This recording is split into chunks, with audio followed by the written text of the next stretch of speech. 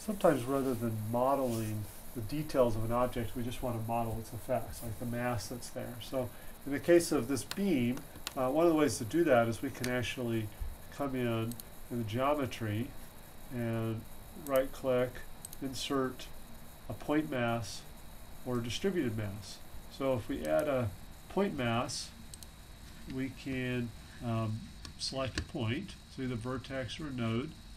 Here we'll select the right end of this beam, apply, and then you can see I can just give that a value, uh, 0.25 pounds, and we, and that would obviously change the frequencies. So let's go ahead and uh, solve my static structure.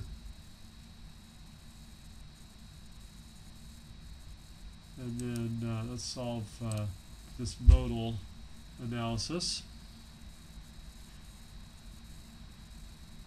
See how quick that runs. Um, and you can see that that frequency just dropped from 1.75 to 0.79 hertz uh, due to that added weight from the uh, uh, the mass that we stuck at the end of the of the object. Um,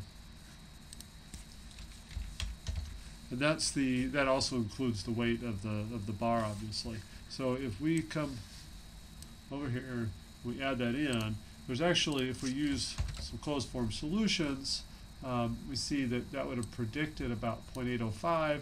This came out to 0.7907. And this is compared, this is the workbench solution, and this is compared with the ANSYS.